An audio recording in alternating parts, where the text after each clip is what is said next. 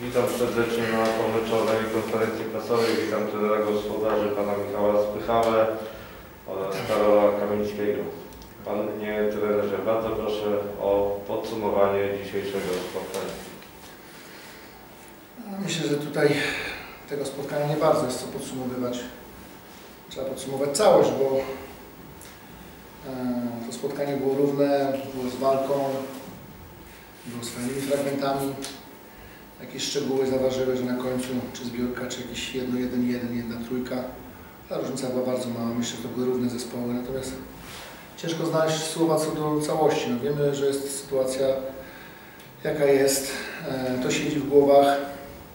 Czy ja mam tutaj, nie wiem, nie chciałbym używać słów e, e, wstydu ani, ani nie wiem, kompromitacji, bo tego meczu tak na pewno podsumować nie można.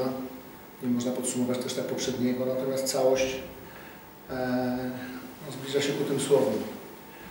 E, jest źle, no ja, byliśmy świadomi, że będzie ciężko. Ja liczyłem na to, że, że będą takie mecze, jak te że będą takie walki jak to, jak to w Koszalinie.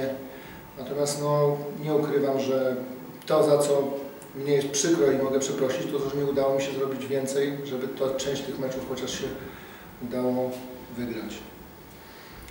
Eee, dlatego mówię, tego meczu nie chciałbym podsumowywać, reszta ja do zawodników y, będę wkładał tylko cały czas. Ja się będę do samego końca starał, żeby wyglądało to jak najlepiej, żeby nie wyglądało to, e, e, żeby wyglądało to z taką walką i werwą jak dzisiaj, do samego końca, niezależnie od tego jaka będzie sytuacja tabelowa, raz, e, żeby każdy dawał z tego z siebie tego maksa, niezależnie od tego, czy ten mecz się skończy podobnie jak ten, czy też będziemy wygrywali 20 i oby tak było. To mogę obiecać i tak jak powiedziałem, przeprosić mogę tylko za ten całokształt za ten mecz się wstydzić chyba jakoś strasznie nie musimy, e, a niestety znowu zabrakło i to jest ten ból. Dziękuję bardzo. Dziękuję. Bardzo proszę, Karol Kamiński. No, Też ciężko cokolwiek powiedzieć po może nie tylko o tym meczu, ale no właśnie całokształcie tego, jak wyglądamy w tabeli. Na pewno każdy z nas e, zdaje sobie sprawę z tego, jak e, wygląda sytuacja i podeszliśmy bardzo skoncentrowani. Do tego meczu przygotowywaliśmy się długo. Uważam, że byliśmy dobrze przygotowani, aczkolwiek znowu po raz kolejny zadecydowały jakieś detale.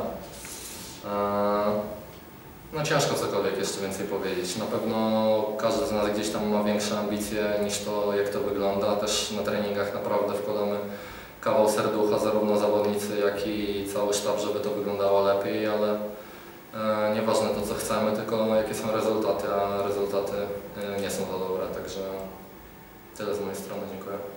Dziękuję. Czy są jakieś pytania? Będziemy się starali, będziemy walczyli do końca, jest jeszcze 16 kolejek. Na pewno dużo można dobrego w tym czasie pokazać, niezależnie od tego, jak to się skończy. Dziękuję bardzo. Dziękuję bardzo. Dziękuję bardzo.